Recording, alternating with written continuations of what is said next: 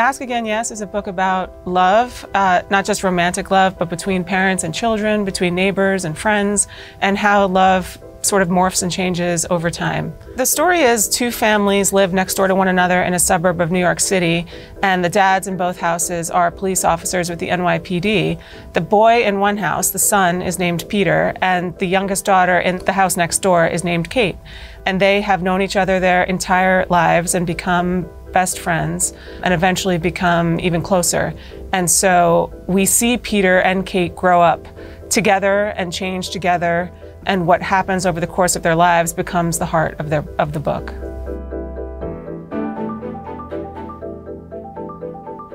Peter really came to me first. He's the central character. I think the book really belongs to him, and he's the one who goes through the most during the course of the book. But I began writing the book from Kate's point of view in the first person, probably because I thought that she could see the story most objectively. But Peter, I saw sort of fully formed first. There's a scene toward the end of the book where he is sliding down a telephone pole, and I saw that scene, I think, first out of everything that he goes through. And so I, that's how I knew that the story was really his.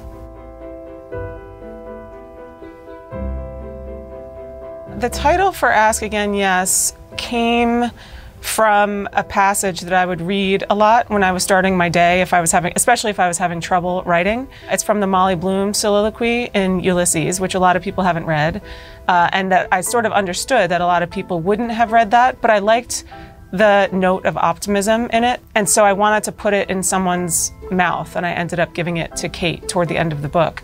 I think that I liked that title because I'd read a lot of books when I was writing this book that ended sort of in a way that felt more dark than they began. And I knew from the beginning that I wanted there to be some sort of redemption. If I was going to bring the reader through so much difficulty, I wanted there to be a reward, not necessarily a happy ending like with a bow, but something that told me and told the reader that life, even with all its complications, is worth it.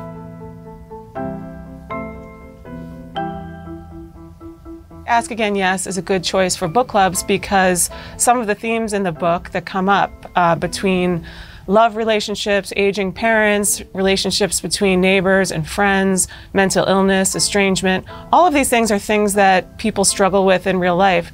And I find that people are identifying with the stories sort of across cultural boundaries, across ages. Um, and that's been really nice to hear.